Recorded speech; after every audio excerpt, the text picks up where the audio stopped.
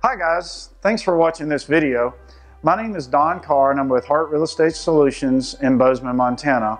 And I'm here today to talk to you about wire fraud.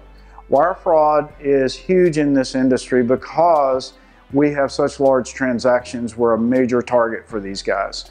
And so wiring funds will come into play anytime that you're not in town for the closing.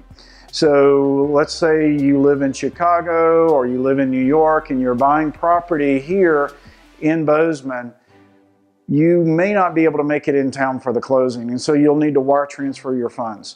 Or you could be a local and maybe you're on vacation or you're out of town for some reason and you're not going to be able to be back in town before closing. Then you would also need to wire transfer funds. So there's four things that I need you to remember about wire fraud. Number one, you will never ever get an email from Hart Real Estate with wiring instructions. If you do, that is wire fraud. Please let us know about it and we'll report it. Number two, you will get wiring instructions from the title company. When you get those wiring instructions, do not follow them.